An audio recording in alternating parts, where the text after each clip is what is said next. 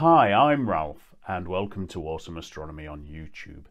In this episode, we're going to look at the moon, specifically why the moon appears upside down in different hemispheres. That's right, you penguin fanciers, time to fess up. You've been mucking about with the moon projection hologram again, haven't you?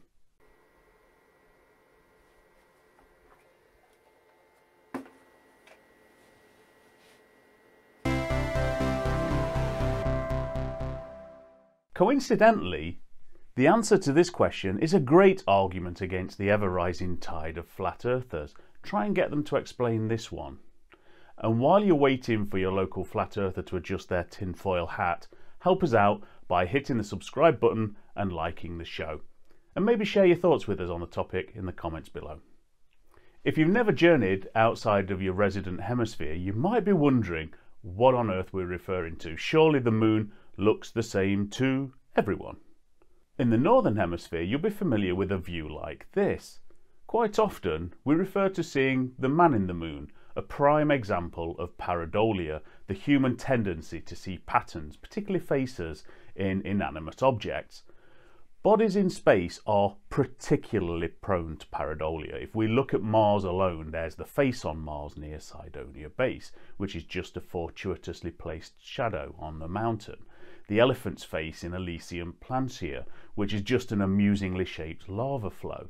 And who can forget the Martian mermaid, which looks like a mermaid with outstretched arm lounging on a rock though I'm sure your opinion changes when you realise it's actually only about six centimetres tall, and you remember Mars has no oceans and no atmospheres. Even in mythology, half-fish humans have to breathe somehow.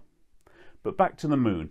In much of Europe and North America, we see the man in the moon. However, if you live near the equator, you might be more familiar with the rabbit in the moon, a tale that originated in China but is now common throughout Asian cultures, and we even find it in unrelated native cultures of the Americas.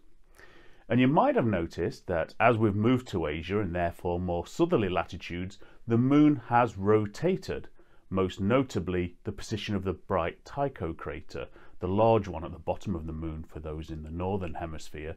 This has changed, as have the dark mare or seas. By the time we get to the southern hemisphere, Tycho crater is not at the bottom of the moon, but right at the top. Those of you down under will be more familiar with this moon, and in New Zealand Maori culture, tells of Rona and the tree and container of water she was clutching when she was plucked from the earth after cursing the moon. But why does the moon seem to look different, depending on where you're looking from? After all, it's, well, it's the same moon we're all seeing. And it all boils down to living on a spherical planet. Sorry, flat earthers, there's no explaining this one away. Imagine you're standing at the North Pole and a friend is standing at the South Pole. Although as far as you're both concerned, you're both standing upright relative to the ground. Your heads are actually pointing in opposite directions. You at the North Pole, when you look at the moon, you see the dark mare or the seas near the top of the moon and the bright Tycho crater at the bottom. Your friend at the South Pole looks at the moon with an upside down head so they see the mare at the bottom and bright Tycho at the top.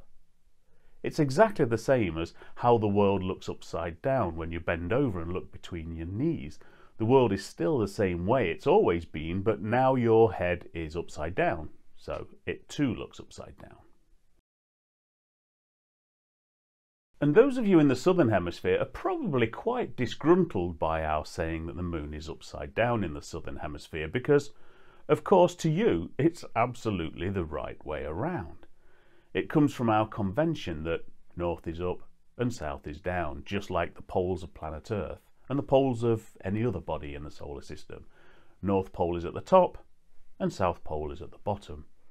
By this convention, the Northern Hemisphere view with the lunar North Pole at the top is the traditional way of viewing the Moon and describing the phases which is just another point. Just as the moon is flipped upside down in the southern hemisphere because our heads are upside down in the southern hemisphere, it follows that all the phases are also flipped. So for example, moon in the northern hemisphere looks like this. Yet in the southern hemisphere, it looks like this. And the lunar shadow chases the moon in opposite directions. And if that wasn't mind bending enough, at the equator, your head is tilted to the side, so the moon is also tilted to the side. And a crescent moon is like a cosmic smile. So there you have it. The moon appears upside down in different hemispheres because we live on a spherical planet. And in different hemispheres, our heads are upside down, or on the side if you live near the equator. If you liked this video, do go and check out our podcast at the links below, and please also help this YouTube channel by hitting the subscribe button here and liking the show.